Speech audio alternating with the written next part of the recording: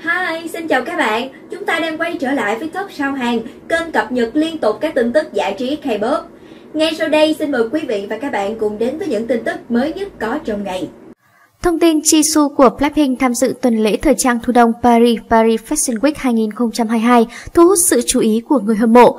Không phụ sự trông đợi từ đông đảo người hâm mộ, cô nàng vừa xuất hiện đã khiến dân tình xôn xao vì dáng vẻ xinh đẹp và khí chất tươi tắn. Để thể hiện sự ưu ái dành cho Jisoo, Dio đã đăng tải hình ảnh thiệp mời gửi đến nàng đại sứ trên nền tảng mạng xã hội. Tại tuần lễ thời trang thu đông Paris Paris Fashion Week 2022, Jisoo diện trang phục của nhà mốt Pháp. Khác với lần tham dự trước, Jisoo chọn trang phục có phần đơn giản và trẻ trung hơn. Chiếc váy vàng kẻ sọc bên ngoài giúp cô trở nên nổi bật giữa đám đông. Cô nàng cũng chọn kiểu tóc ép thẳng, khoe trọn gương mặt xinh đẹp. Phong cách lần này của Jisoo mang đến cảm giác nhẹ nhàng và năng động. Người hâm mộ nhận xét chị cả Blackpink trông như một học sinh vì trình hách tuổi.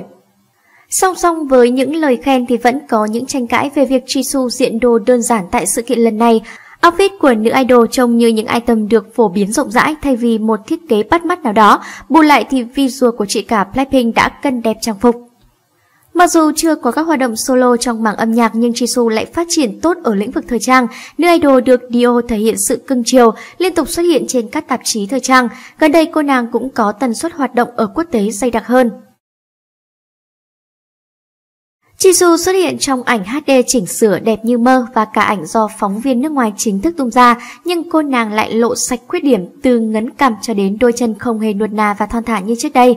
Ấy vậy mà loạt ảnh tìm qua đường chụp được lại nâng tầm nhan sắc của nữ thần nhóm Blackpink lên gấp bội. Thậm chí video được một fan quay ở cự ly gần còn giúp Jisoo khoe được đôi chân thon nuột khác hẳn so với ảnh đẹp trên mạng. Có lẽ phải nhìn tận mắt và gặp ngoài đời dân tình mới thấy được trọn vẹn vẻ đẹp của mỹ nhân này. Trong sự kiện này thì Jisoo đã được chào đón bởi một lực lượng người hâm mộ vô cùng hùng hậu, xếp thành hàng dài ngay ngắn cũng chẳng khác gì concert riêng của nữ thần tượng. Đáp lại tình yêu thương từ fan, chị cả Blackpink cũng liên tục giơ tay vẫy chào, nở nụ cười xinh đẹp khoe chọn nhan sắc chuẩn hoa hậu Hàn Quốc.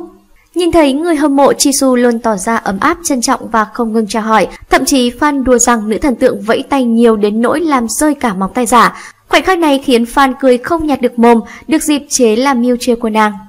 Là một trong những thần tượng thành công nhất khi lấn sân sang lĩnh vực thời trang, Jisoo chưa bao giờ khiến người hâm mộ phải thất vọng mỗi lần tham dự các sự kiện quốc tế. Qua những lần xuất hiện thì danh tiếng của chị cả Blackpink càng thêm tăng hạng. Cảm ơn bạn đã theo dõi video trên kênh Top Sao Hàng và hẹn gặp lại bạn vào những bản tin tiếp theo nhé.